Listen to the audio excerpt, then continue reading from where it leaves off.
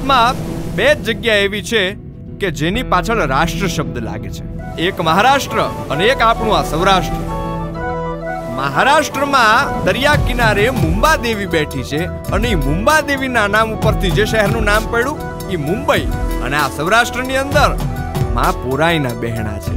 અને પુરાઈ માતાજીના નામ ઉપરથી જે શહેરનું નામ પડ્યું એ આપણું આ પોરબંદર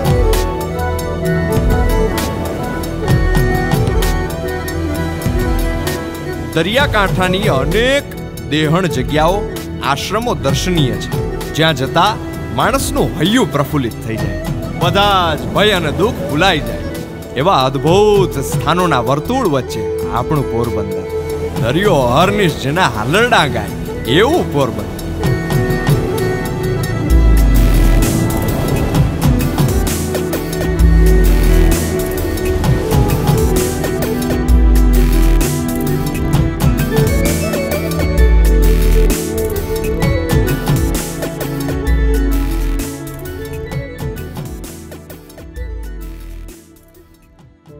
એક સમયે એવું કહેવાતું કે આ નાટક ચોટક તો જોવાય જ નહીં. પણ આ પોરબંદરની ધરતીનો એક મોહન નામનો કિશોર રાજા હરિશ્ચંદ્ર નાટક જોવા ગયો. પણ એ નાટક જોયા પછી નાટકની એની માથે એવી કાંઈક અસર થઈ કે તેદીથી એણે સત્યની ગાંઠ વાળી વાળી એ મોહન નામનો કિશોર આજે તો વિશ્વ આખામાં મહાત્મા તરીકે પૂજાય છે. દુનિયા આખીને સત્ય માટે અહિંસાના માર્ગે લડતા શીખવાડનાર આપણા પૂજ્ય બાપુ એટલે કે મહાત્મા ગાંધીની જન્મભૂમિ એટલે આપણું પોરબંદર.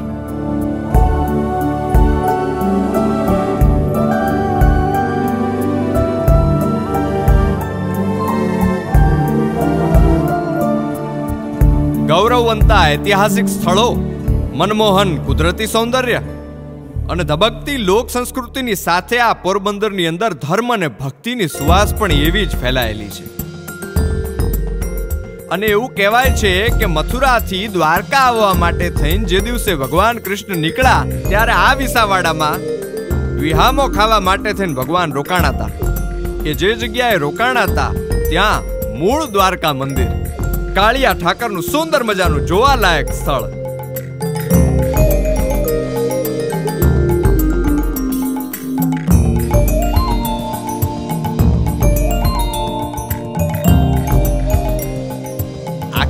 જિંદગી જેણે અયાચક વ્રત પાળ્યું.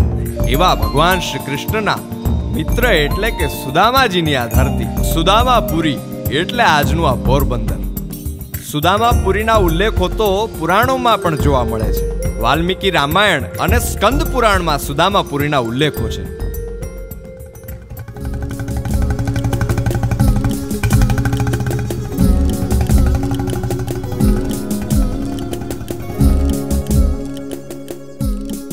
નેક ટેક અને ધર્મની, જ્યાં પાણે પાણે વાત, સંત સુરા નિપજાવતી, અમારી આ ધરતીની અમીરાત.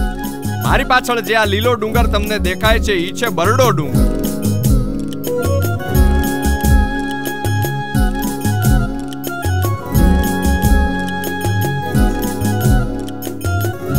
આ ધરતીની ઇતિહાસની અનેક અનેક વાતો, શૂરવીરતાની વાતો, ભક્તિની વાતો, દાતારીની વાતો પોતાની પાસે લઈ અને પલોઠી વાળીને જે ડુંગર બેઠો છે ઈયા બરડો ડુંગર.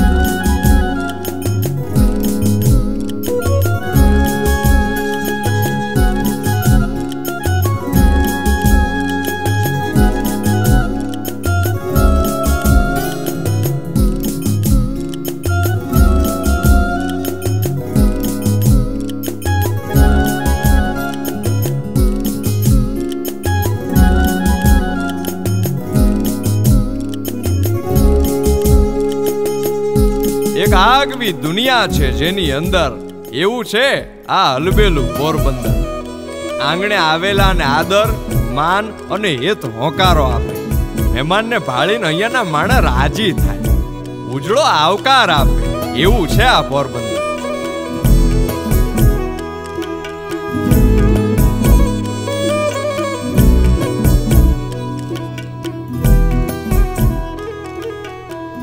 અને આ ધરતીની લોક સંસ્કૃતિની પરંપરાઓ પણ એટલી જ ઉજળી છે. આપણે ભગવાન શ્રી કૃષ્ણના અને રાધાજીના રાસ તો ઘણા બધા જોયા હોય, સાંભળ્યા હોય. પણ હાથમાં તલવાર અને ઢાલ લઈ, વિશ્વ આખામાં રમાતો એકમાત્ર શૌર્ય રાસ, એ છે ઢાલ તલવાર રાસ. મહેરનો મણિયારો, એ આ ધરતીની ઓળખ સમો છે. એક સમયે જ્યારે આધુનિક હથિયારો નહોતા ત્યારે હાથમાં ઢાલ અને તલવાર લઈ પોતાના રાજ્યની રક્ષા કરવા, પોતાના લોકોનું રક્ષણ કરવા, ધર્મનું રક્ષણ કરવા માટે થઈ શૂરવીરો નીકળી પડતા. અને શૂરવીરો લડાઈઓમાં જઈને આવે, યુદ્ધમાં જઈને આવે, યુદ્ધમાં જીતીને આવે, લડાઈ જીતીને આવે, ત્યારે ગામના લોકો એમનું સ્વાગત ઢોલના તાલે અને શરણાઈના સૂરે કરતા.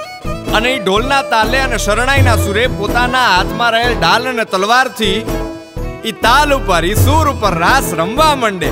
એમાંથી સર્જાય છે આપણો મહેરનો મણિયારો, ઢાલ તલવાર રાસ.